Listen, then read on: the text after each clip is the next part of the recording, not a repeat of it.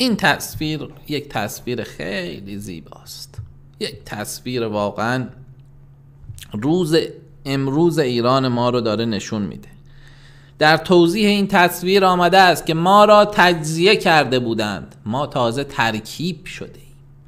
واقعا ببینید که چندین سال ایرانیان رو با هم دشمن کرده بودند. استانها رو با هم دیگه قومیت ها رو با هم دیگه ملت ها رو مردم ها رو در واقع ملت ها واژه درستی نیست. قوم ها مردم ایران رو با یکدیگر دشمن.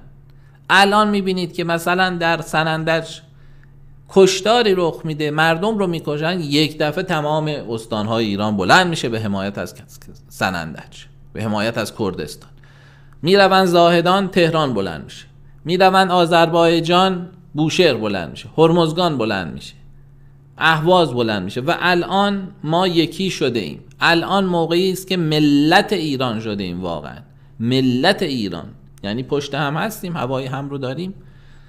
اجازه نمیدیم که ما رو تیکه کنن پاره کنن و بر ما حکومت کنن. سیاست تفرقه بینداز و حکومت کنه. جمهوری اسلامی و انگلیس خبیس در واقع اثری نداره و الان می‌بینیم که واقعا این ملت شدن رو داریم به چشم می‌بینیم. ما را تجزیه کرده بودن. ما تازه ترکیب شده ایم اینم جواب اون سایت ها و رسانه های سپاه که مدام می‌گوین کردها آمدن دارن تجزیه می‌کنن. بلوچ ها دارن تجزیه اینا هموطنان ما هستند. اینها ایرانی هستند. شما بیگانه اید.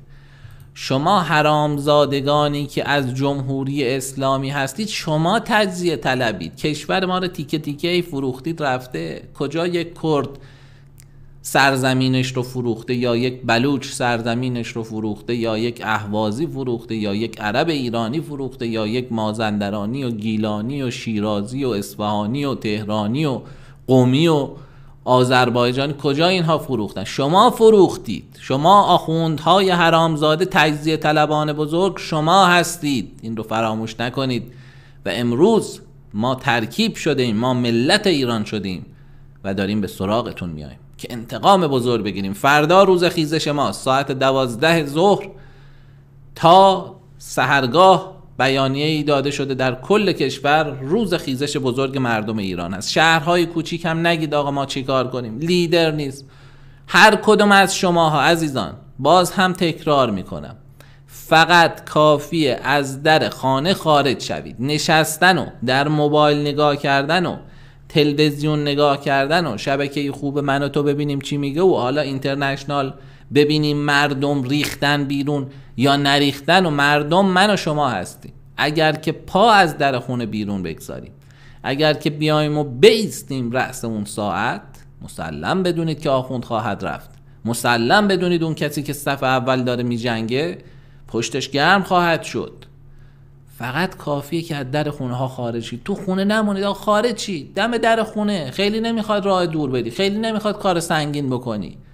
نمی‌خواد صف اول به جنگی فقط از در خونه خارج شو. خیابان ها رو شلوغ کنید اون کسانی که صف اول می جنگند خواهند جنگید. وقتی که شلوغ بشه نیروهای جمهوری اسلامی خودشونو خواهند باقی یک دفعه می‌بینن یک جمعیت هزاران نفره در یک خیابون وایسادن مگه حریف می‌تونن بشن؟ می‌دونن که تمام هست کارشون. و یک چیز رو خیلی از نوجوان ها و جوان ها بچه های کالاف بچه های مختلف از من می‌خوان. میگن آقای میرقای بگو اگه فردا کسی نپیوست به اعتراضا ما شیشش رو میشکنیم. این رو بچه ها خواستن. حالا من نمیگم درست هست یا غلط هست. این رو گفتن اعلام کن که اگر به اعتصابات فردا نپیوستن و شروع کردن به خصوص اونایی که به رژیم غذا میدن آب میدن به این مامورا گفتن ما شیشه هاشون رو میشکنیم. چیزی که بچه ها از من خواستن که اعلام کنم.